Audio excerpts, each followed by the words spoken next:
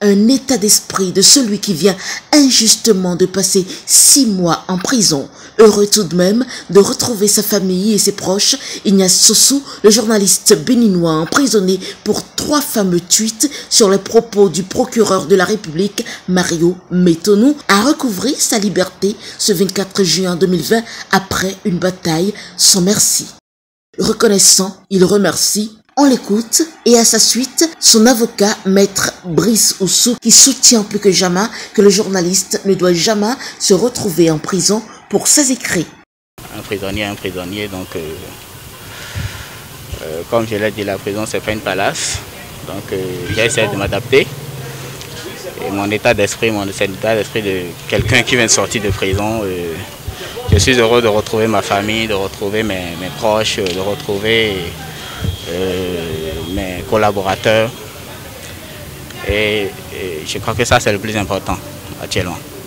Eh bien, je viens de sortir de prison, donc je vais m'entretenir avec mon patron, qui certainement a un projet pour moi. Dans le cas contraire, je me remets à écrire comme euh, tout bon journaliste. La procédure judiciaire est toujours en cours parce que, euh, à sa demande et avec son accord, nous avons fait un pouvoir en cassation parce que nous estimons que, tel que la décision a été rendue, il y a un problème d'application des lois de la République. Donc il faut que la Cour suprême nous départage.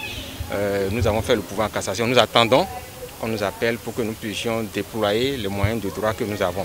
Mais pour l'instant, euh, nous avons une minime satisfaction qui est que, au lieu de 18 mois, il vient de faire 6 mois de prison, il est sorti. Le plus important était qu'il sorte d'abord, qu'il recouvre sa liberté, parce que nous l'avons dit à l'audience. L'esprit des lois de la République du Bénin, c'est que le journaliste ne doit jamais se retrouver en prison pour ses écrits, pour son travail professionnel. Et donc le plus important du combat, c'était qu'il sorte d'abord. Mais le combat n'est pas fini, nous allons le continuer pour que la juridiction suprême nous situe par rapport à la compréhension qu'il faut avoir des lois de la République, à savoir la loi portant code de la presse et la loi portant code numérique. Parce que c'est à ce niveau que se situe le problème de Ignace Sessou, le problème de l'application de la loi qu'on a voulu faire à sa personne. Il faut qu'on règle ce problème-là pour que cela n'arrive pas à d'autres journalistes au Bénin. Lui a peut-être servi de cobaye. Il faut que cette question soit réglée une fois pour de bon au Bénin. Merci beaucoup, Maître. Initialement condamné à 18 mois de prison ferme et une amende de 200 000 francs CFA, après appel, le journaliste écope de 12 mois de prison dont 6 mois avec sursis assorti d'une peine de 200 000 francs.